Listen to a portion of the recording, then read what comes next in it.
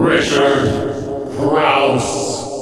Now, given director Roman Polanski's recent legal troubles, it's hard not to infer some deeper meaning into the plight of the ghostwriter's ex Prime Minister, played here by Pierce Brosnan, who's accused of war crimes. In a moment of life imitating art, Adam Lang's lawyer says, I strongly advise you not to travel to any country with extradition policies. Now, if Polanski had listened to that advice, he might not have had to finish editing this movie from a jail in Switzerland. Within Lang, there are echoes of Tony Blair. He's a popular, if controversial, ex prime minister. He wasn't a politician, says the ghostwriter. He was a craze. Uh, he has a $10 million book deal and a dead co writer. The late journalist was found washed up on shore near Lang's remote Cape Cod beach house under very mysterious circumstances pitch hitting for the late writer is Ewan McGregor's character. He doesn't have a name in the film. A professional ghost writer whose biggest hit was a biography of a magician called He Came, He Sawed, He Conquered. His job is to turn incoherent ramblings into a book. Soon, however, his job is complicated when Lang is accused of war crimes by a former colleague. Untangling facts that may or may not place his own life in danger, he turns from writer for hire into investigative journalist.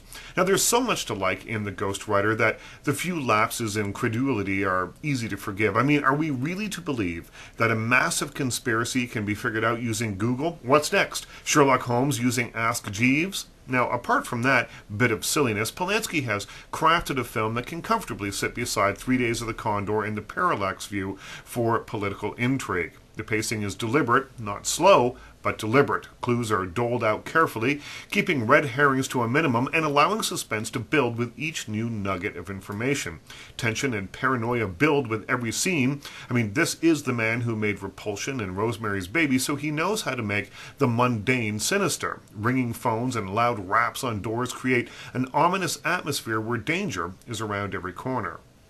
Add to that some interesting work to show the futility of the writer's job. Watch the background. The director places a gardener endlessly sweeping up dead leaves from the compound's many patios, only to have them blow out of his wheelbarrow every time he makes any progress. It's a clever metaphor for the writer's Sisyphean search for the truth. As he gets in over his head, trying to unravel years of twisted political strategy, I wanted to paraphrase Polanski's most famous movie, Chinatown. Forget it, writer. It's politics.